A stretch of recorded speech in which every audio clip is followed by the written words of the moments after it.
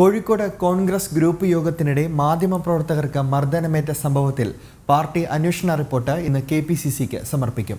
മാധ്യമപ്രവർത്തകരോട് പ്രവർത്തകരുടെ ഭാഗത്തു നിന്നും മോശം പെരുമാറ്റമാണ് ഉണ്ടായതെന്നും ഉചിതമായ അച്ചടക്ക നടപടി വേണമെന്നുമാണ് റിപ്പോർട്ടിലെ ശുപാർശ എന്നാണ് സൂചന.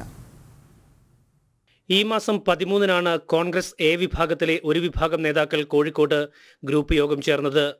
K P C C working president T സിദ്ദിഖിനെ അനുകൂലിക്കുന്ന നേതാക്കളാണ് യോഗത്തിൽ പങ്കെടുത്തത്. ഗ്രൂപ്പ് യോഗങ്ങൾ പാടില്ലെന്ന കെ പി സി സി നിർദ്ദേശം ലംഘിച്ച് നടന്ന യോഗം റിപ്പോർട്ട് ചെയ്യാനെത്തിയ മാധ്യമപ്രവർത്തകരാണ് കയ്യേറ്റം ചെയ്യപ്പെട്ടത്. കെ പി സി സി നിർവാഹക സമിതി അംഗം C V Kunhikrishnan John Poothakuzhi എന്നിവരായിരുന്നു അന്വേഷണ സമിതി അംഗങ്ങൾ. മാധ്യമപ്രവർത്തകരിൽ നിന്നും ഗ്രൂപ്പ് യോഗത്തിൽ പങ്കെടുത്ത നേതാക്കളിൽ നിന്നും ഇരുവരും വിവരങ്ങൾ ശേഖരിച്ചു.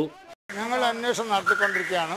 സാധാരണഗതിയിൽ ഒരു അന്വേഷണം നടത്തുന്നത് പോലെയുള്ള എല്ലാവരെയും പരാതിക്കാരെയും പരാതി വിധേയമായവരെയൊക്കെ കണ്ടിട്ട് ഞങ്ങൾ പഠിച്ചുകൊണ്ടിരിക്കുകയാണ് ബന്ധപ്പെട്ടവരെ ബന്ധപ്പെട്ടുകൊണ്ടിരിക്കുകയാണ്.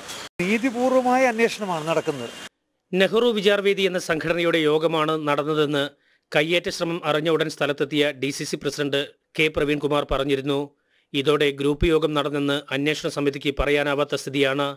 ഗ്രൂപ്പ് യോഗത്തിന് നേതൃത്വം നൽകിയ യു രാജീവൻ മുൻ ഡി സി സി പ്രസിഡന്റും ടി സിദ്ദിഖ് വിഭാഗത്തിന്റെ ജില്ലയിലെ പ്രധാന നേതാവുമാണ്. ഇദ്ദേഹത്തിനെതിരെ നടപടിക്ക് ഡി സി സി നേതൃത്വത്തിന് താൽപ്പര്യമില്ല. അതുകൊണ്ട് തന്നെ മാധ്യമപ്രവർത്തകരോട് മോശമായി പെരുമാറിയ രണ്ട് പ്രാദേശിക നേതാക്കൾക്കെതിരെ അച്ചടക്ക നടപടിക്ക് മാത്രമാണ് അന്വേഷണ കമ്മീഷന്റെ ശുപാർശ.